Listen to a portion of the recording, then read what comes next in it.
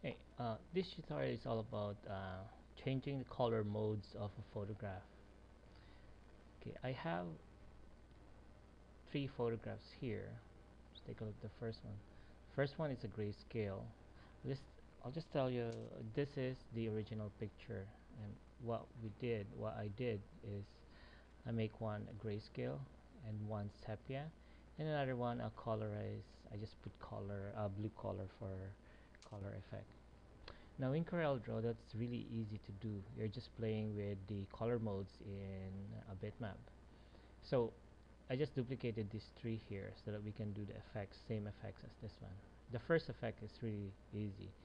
So you click on your colored photograph and then you click on bitmap and then you click on mode and click on grayscale. Okay, that's it.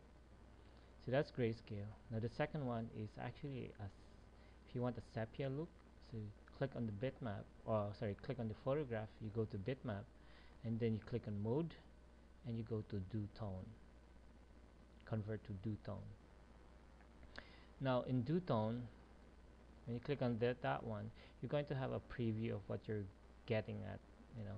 This is the original image and then here in the right side is the effect so we want to go to monotone just one tone but instead of black here double click on this color swatch here and then you'll have some color swatches.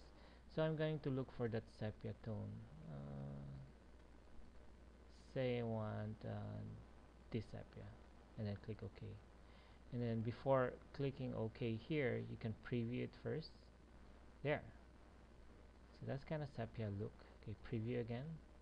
And if I'm not really happy with the say I want it darker so I just double click on this again it will show up and I'll say I'll use that one and then click on preview again. Here. And then click OK. Looks good. Now the other one is the blue effect. So it's the same thing as the sepia look but just changing the color to blue.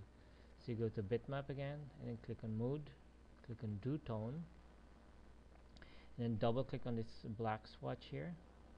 And then uh, let's go to the dark blue here and then click OK.